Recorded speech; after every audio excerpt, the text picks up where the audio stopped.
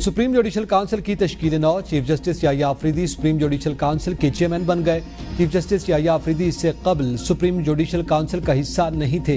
दो सीनियर जजेस, जस्टिस मंसूर अली शाह और justice Munib Akhtar supreme judicial council के रुकन होंगे।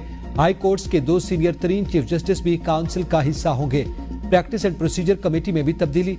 जस्टिस मुनीब अख्तर दोबारा कमेटी में शामिल। चीफ जस्टिस कमेटी के सरबरा जस्टिस मंसूर रुकन होंगे। 28 अक्टूबर को जजेस का फुल कोर्ट इजलास तलब, चीफ जस्टिस याया आफरीदी का कहना है कि वो पाकिस्तान के अवाम के लिए कानून की हुक्मरानी यकीनी बनाएँगे। ये भी यकीनी बनाएँगे कि रियासत के तीन सतूनों की खुद मुख्तारी का असूल कामयाब हो।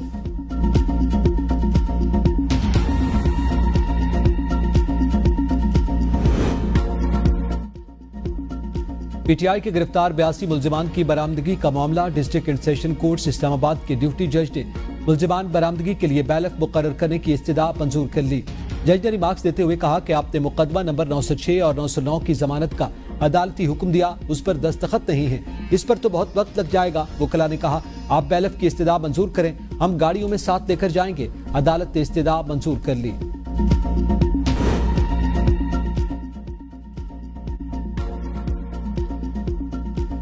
असला और बारूद बरामदगी केस में वजी अला के पी के अली अमीन गड्डापुर के वारंट गिरफ्तारी बरकरार। डिस्ट्रिक्ट सेशन अदालत इस्लामाबाद ने हाजिरी से इस्तना की दरखास्त मुस्तरद कर दी। एस एस पी ऑपरेशन को वारंट गिरफ्तारी की तामील करवाने का हुक्म। अदालती हुक्मनामे के मुताबिक आइंदा समात तक वारंट गिरफ्तारी की तामील न कराई गई तो एस एस पी ऑपरेशन जाती हैसियत में अदालत में पेश हों। अडियाला जेल में कैदियों से मुलाकातों पर पाबंदी खत्म। तमाम कैदियों की मुलाकातें अब बाबुल के मुताबिक होंगी। अडियाला जेल में मुलाकातों पर पाबंदी 25 अक्टूबर तक लगाई गई थी। चार अक्टूबर को सिक्योरिटी वजूहत के बायस पाबंदी लगाई गई थी।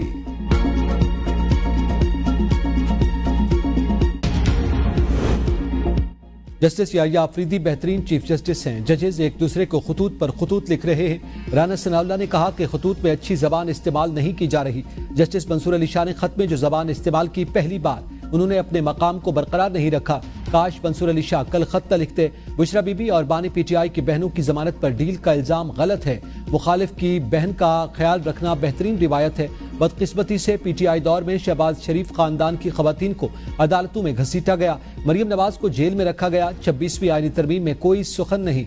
आईनी तरमीम ने चोर दरवाजे से इकतदार में आने का रास्ता बंद कर दिया।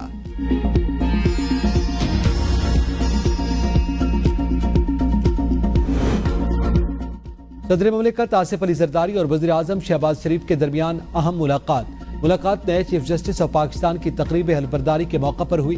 सदर ममलिकत और वजी अजम के दरमियान मुलाकात में मुल्क की सियासी सूरत हाल अमन अमान समेत दीगर अहम उमूर पर तबादला ख्याल किया गया। सदर ममलिकत और वजी अजम के माबेन मुलाकात में दहशत गर्दी के खिलाफ जारी जंग में फौज और सिक्योरिटी फोर्सेज के शेर दिल जवानों को खराज तहसीन पेश किया गया। एस सी ओ की कामयाबी और मुआशी इकतदी सूरत हाल पर भी बातचीत हुई। असलम एबीएन न्यूज़ के साथ मैं हूँ एहतजाज नकी हेडलाइंस आपने जानी तफसीत शामिल करेंगे। एक ब्रेक के बाद साथ रहिएगा।